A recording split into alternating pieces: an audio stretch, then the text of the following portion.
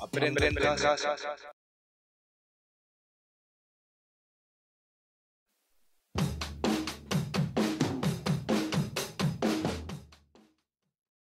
Hola, hoy vamos a ver un problema de equilibrio químico concretamente de junio de 2018.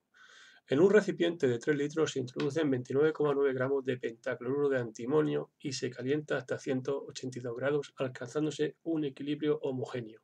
El pentacloruro de antimonio gaseoso se descompone o se disocia en tricloruro de antimonio y cloro. Es un equilibrio homogéneo donde todas las especies que intervienen están en estado gaseoso. Sabiendo que la presión total fue de 1,54 atmósferas, calcular la constante K C y la constante K P. La clave de este problema es entender la presión total, el dato de 1,54 atmósferas. Cuando se alcanza el equilibrio, la concentración de cada una de las especies químicas que interviene permanece constante.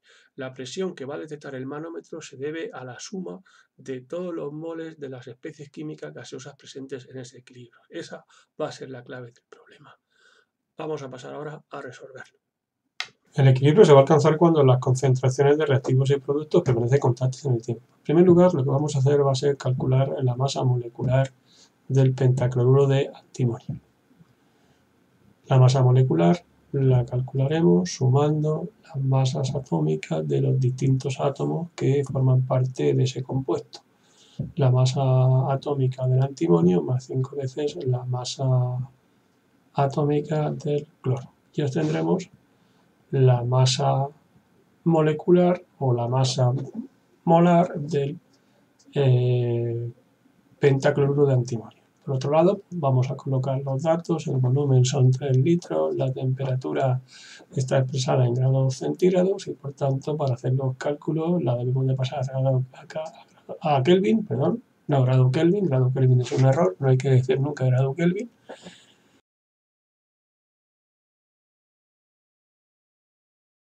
Calculamos ahora el número de moles de iniciales que vamos a tener de pentacloruro de antimonio. Para ello dividimos la masa de la sustancia inicial que se pone en la cámara de reacción entre la masa molar. Y obtendremos el número de moles iniciales, 0,1 mol inicial de pentacloruro de antimonio. La constante de equilibrio para esta reacción química sería el producto de la concentración de tricloruro de antimonio en el equilibrio por el cloro concentración de cloro en el equilibrio dividido de la concentración de pentacloruro de antimonio en el equilibrio. Bien, todas estas sustancias se encuentran encerradas en un recipiente cerrado con un volumen de 3 litros a una presión de 1,54 atmósferas y a una temperatura de 455 Kelvin. La presión que marca el manómetro será consecuencia de todas las especies químicas que hay presentes en el equilibrio, es decir, del número total de moles de sustancias químicas. El número total de moles va a ser la suma de los moles de pentacloruro de antimonio más los moles de cloro más los moles de tricloruro de antimonio una vez alcanzado el equilibrio. Nuestro objetivo será calcular el número total de moles. Para calcular el número total de moles en el equilibrio, utilizamos una tabla donde tendremos en cuenta los moles que hay al inicio, antes de empezar la reacción, 0, 1 mol de pentacloruro de antimonio y 0 de cloro y tricloruro de antimonio, veremos los moles que aparecen y desaparecen según la estequiometría de la reacción, desaparecen X moles de pentacloruro y por cada X moles que desaparecen aparecen X de cloro y X moles de, tricloruro de antimonio.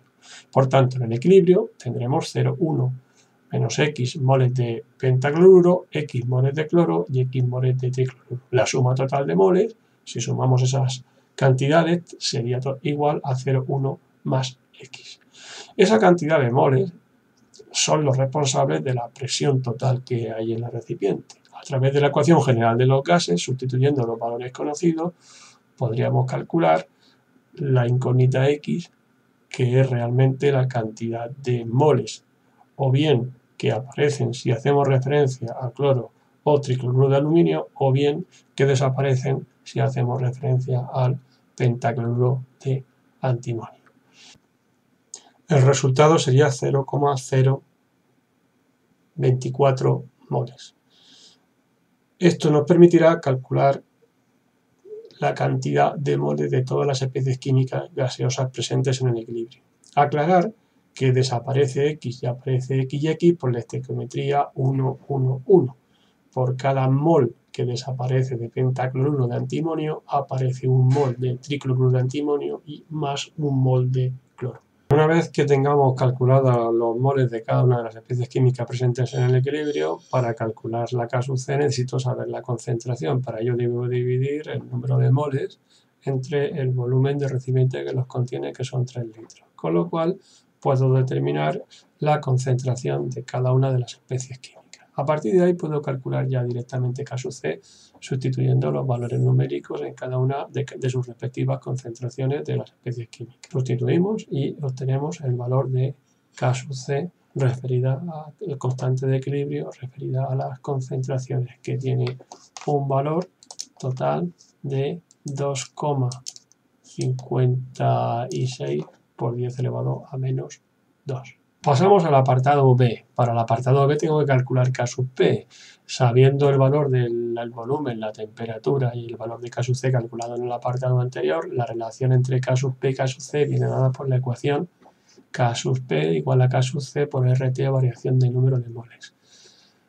La variación de número de moles es la diferencia de moles gaseosos entre los productos y los reactivos. Tomaremos como referencia los coeficientes estequiométricos. Por tanto, un mol de cloro más un mol de tricloruro de antimonio menos un mol de pentacloruro nos daría una variación de un mol eh, gaseoso en esta reacción química. Ya podemos sustituir directamente la ecuación, el exponente sería 1 y de esta forma obtenemos el valor de K sub P el valor de K sub P, pues eh, vendría como 0,095 y con esto queda acabado el problema.